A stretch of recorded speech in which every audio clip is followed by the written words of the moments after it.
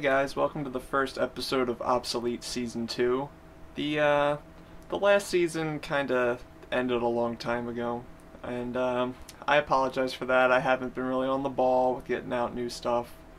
Uh, you might remember the last thing that I did was an episode for the new tech back at the end of 2012, and, yeah, it's, it's 2014 now, so we have to do something about that.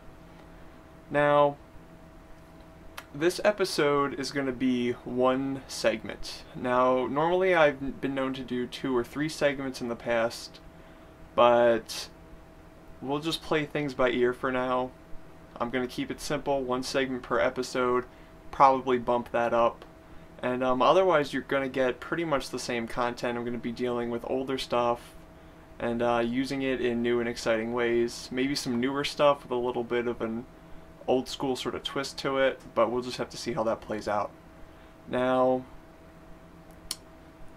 we're going to have to think about how this is all sort of new. So, if you remember the last season, everything was standard definition, and you know, I used the Xvid codec and all that fun stuff, but now I've switched over to a DSLR camera. So, I'm doing HD, and we're going to be putting it out in H.264 or something, whatever the newest, latest, greatest codec is. And um, you might see some differences. We have some lighting, we have a little bit better sound with the recorder over there. We have widescreen, so there's all this extra room. And um, I'll be playing with that as time goes on, because I'm not necessarily an expert in all this, but I don't know, I'll figure it out. So this one segment that we're going to be seeing in this episode is Commodore 64 floppy backup. Now this is akin to the segment that I did for the new tech back almost a year and a half ago, but um, Commodore discs are a little special and I'll get into that a little bit more. Now I filmed the majority of this episode last year, almost exactly a year ago, and You'll probably notice some continuity differences, a little a couple of references that might not really make sense anymore, but the content's still good, and um, I've recorded a little bit more content from that time, which I can't push out just yet, but that's probably coming up. So, I hope you're excited for Season 2. I am, finally getting around to it. So without further ado, we're going to get into Commodore floppy backups. Okay, so I imagine at this point you've probably seen my um, floppy copying episode of the new tech, which I'm promoting heavily right now. If you haven't, go check that out. Um, and actually, check out all of their episodes because it's a good show. But anyway, so I covered a lot of uh, disk formats that you could potentially copy. Uh, I think I used an example of an IBM floppy, but there's also some uh, TRS stuff, as well as other more obscure formats. But what if you had one of these guys? Commodore 64, or really any Commodore computer. What we need to consider is that with the Commodore computers, the floppy drives had both side read and write, while your standard five and a quarter inch floppies um, are only one sided. So the drives are only going to be one-sided. So you have this sort of discontinuity between the sides, and that's why getting an image from these old Commodore disks is pretty difficult for all of these new little gadgets for floppy copying. However, there's a solution. I picked up one of these. This is a ZoomFloppy, and uh, it's about $35. You can get it online. There's also a, an IEEE adapter option, which is an additional couple of bucks. So I got it. Uh, you don't really need it, but who knows? They're they're gonna stop making these. The adapters might be hard to find, so it's good to have it just as an option. So you have your ZoomFloppy, but what else are you going to need if you want to back up all of your C64 disks? You're going to need one of these. So this is the Commodore Disk Drive 1541. I believe this is the second revision of them.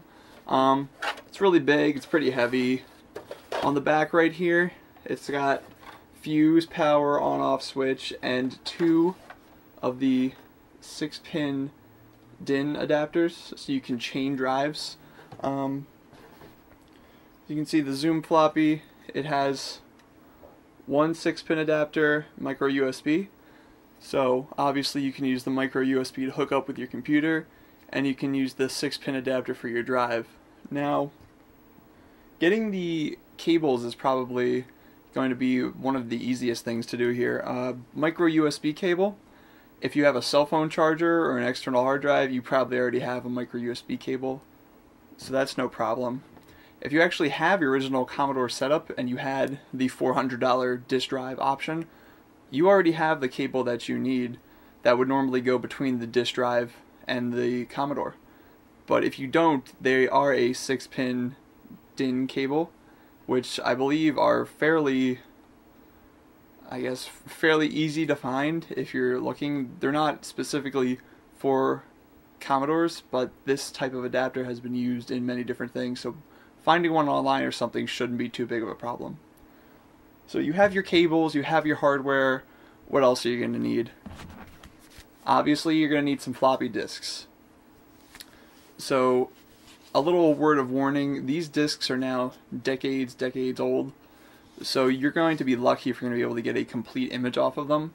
However, this um, device, it, it doesn't matter if you get a whole image. It will read back partial images. It'll just copy and copy and copy. And if it hits a bad block, then it'll just say, hey, it's a bad block, let's keep going. So you can get partial disk saves, and having something saved is better than having nothing at all. So now that I've explained what all you need to get your Commodore 64 copying going, let's actually go over to the computer and hook everything up and see what we can do. Okay, as you can see, I have the Commodore disk drive hooked up via 6-pin DIN to my ZoomFloppy, and the ZoomFloppy is hooked up via USB to my desktop. So now, if you go to the go4retro.com website, you can download a uh, package for Windows full of software that allows you to interface with the ZoomFloppy. I'm using the Windows version. After you unzip the file, you have a firmware updater, installer, run test, some documentation that's not very helpful. So I already ran the installer and that just basically makes a directory on your hard drive full of the binary files that you can use. So I already have everything installed and everything's plugged in so let's do a run test. So as you can see it found my drive, which is a 1541, so it has that right. And it's kept on drive 8, which is the default. So we don't need this screen anymore. Now, if you look in the bin directory, you can see that there's a bunch of executables here. We're going to be mainly focused on D64 copy because we want to copy our disks. Also, you can see I was messing around a little bit earlier, so let's get rid of this file. There's a ton of other little utilities that you can use. They're a little bit out of the scope because we're just looking for recovering stuff from our disks. So, by itself, ZoomFloppy does not have a lot of documentation for these executables. So if you go to opencbm.trikaliotis.net, then you can find lots and lots of commands here that you can use with the executables.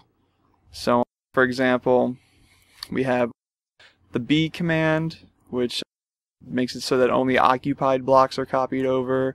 We have uh, TAC2, so that does two-sided disks. There's some examples down here. So we're going to need a disk that we can copy. So I'm going to use everybody's favorite here, Christmas Carols by John Henry. So put this in the drive right here. Now over here,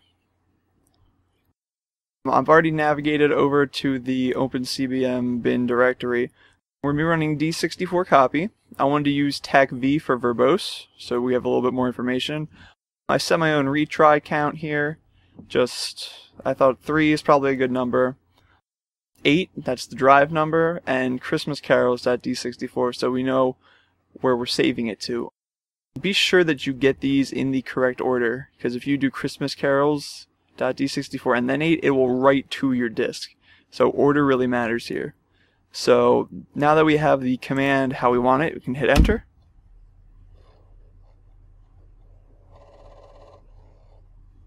Alright, and it failed. Sometimes it does that, so just give it another try. And here we go, it's starting to copy the tracks. Each track has a certain number of blocks, so we end up having 683 blocks. So this is going to take a while, so you can go put on a cup of coffee or something. So, in the meantime, just bring up here, I have a Commodore 64 emulator called CCS64. It's still pretty well maintained, last updated uh, May 2012. I'm using an older version right now just because it's what I got.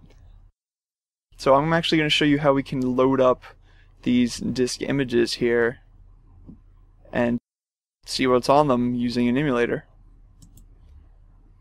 So this is still going here while this is going. We can bring up our emulator.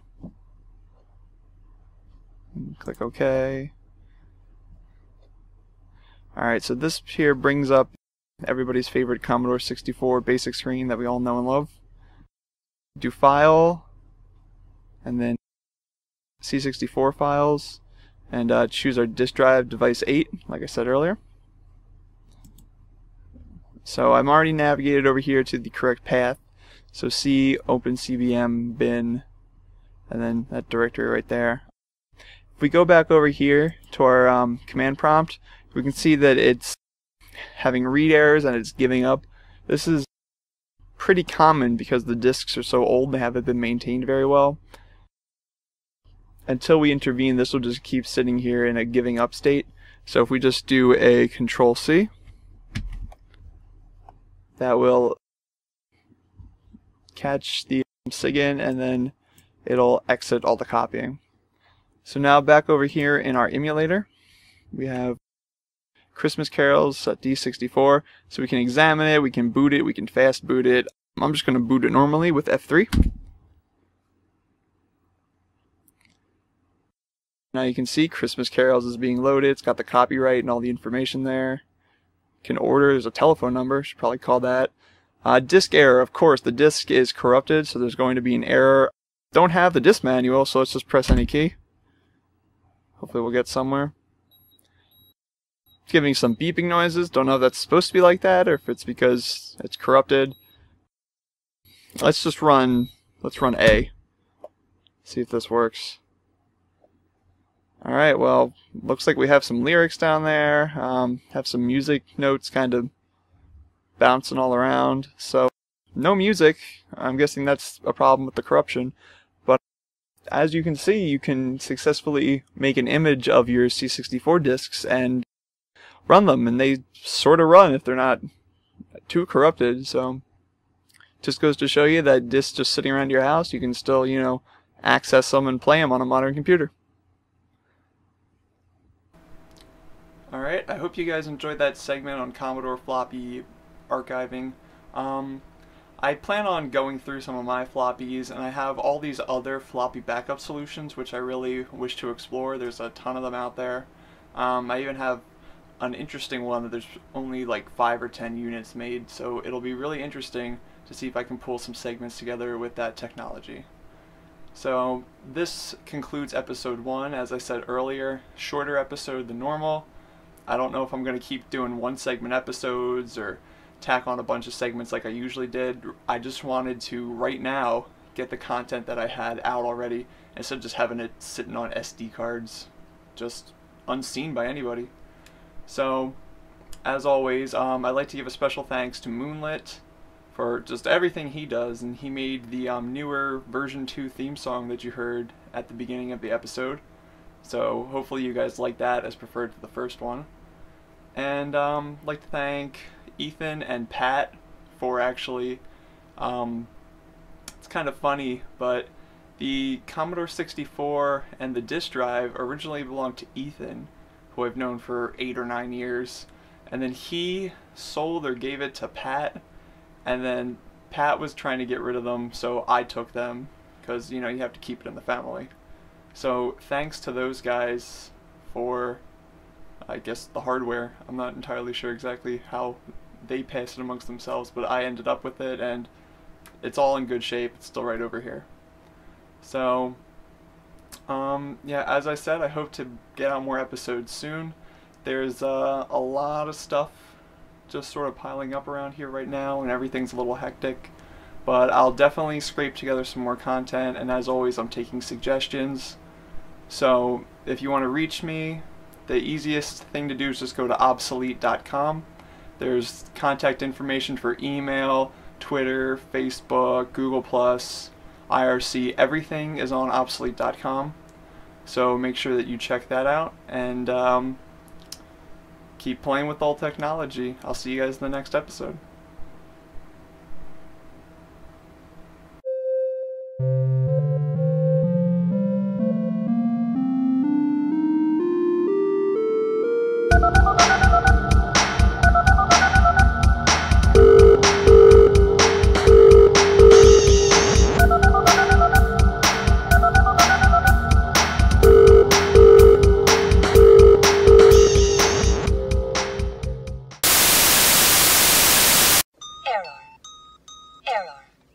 Can I show you a shortcut?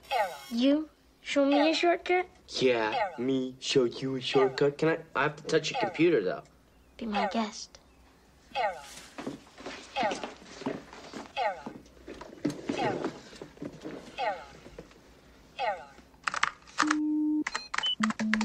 See that? Ta-da!